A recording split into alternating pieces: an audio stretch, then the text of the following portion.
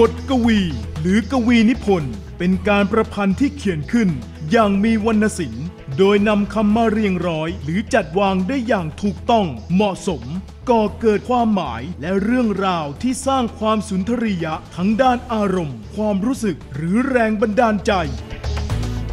นายกิติศักดิ์มีสมสืบ นามปากกา ศักดิ์สิริ มีสมสืบ ปัจจุบันอายุ 59 ปี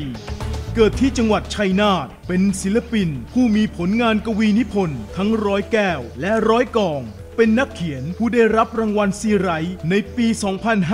2535 จากเรื่องมือนั้นสีขาว ด้วยผลงานมีความโดดเด่น ในเชิงวรรณศิลป์ทั้งรูปแบบ เนื้อหาและความคิดประกอบกับการใช้คำที่เรียบง่าย แต่มีลีลาและจังหวะเป็นอัตลักษณ์เฉพาะตน เพื่อให้กระทบใจและเร้าความรู้สึกผู้อ่าน คือกว่ามันจะเป็นตัวอักษรได้เนี่ยมันผ่านกระบวนการที่เชื่องช้า ผ่านกระบวนการที่เชื่องช้า แล้วก็เป็นการคัดสรรแล้วคัดกรองแล้ว แม้แต่คำคำเดียวเนี่ยชั่งน้ำหนักแล้วชั่งน้ำหนักอีกว่าจะใช้คำนี้หรือไม่ เป็นเวลากว่าสามทศวรรษที่การอ่านขับขานบทกวี ประกอบการแสดงดนตรีของศักดิ์สิริ สามารถเข้าถึงกลุ่มผู้ฟังได้ทุกวัย